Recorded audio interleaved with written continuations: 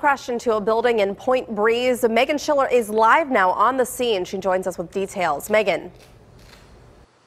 Good morning. We are here in front of this dialysis building along Penn Avenue, right near the intersection of Brushton, and you can see that that red car that is right in front of here, us here has driven into the front glass of this building. This is the dialysis here on the east end.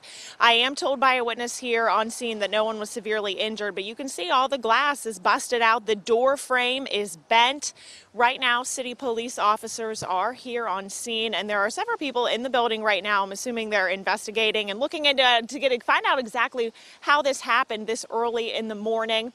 We got the call about a half an hour ago, and we got here as soon as we can. But again, that that car is sitting right there with a lot of debris and glass on the front windshield as well as the hood of the car. But a witness did tell me that he heard that no one was injured in all of this. So hopefully we will get an update from police soon and be able to bring you a little bit more information as to how all this happened. But for now, reporting live this morning, Meghan Schiller, KDKA TV Morning News.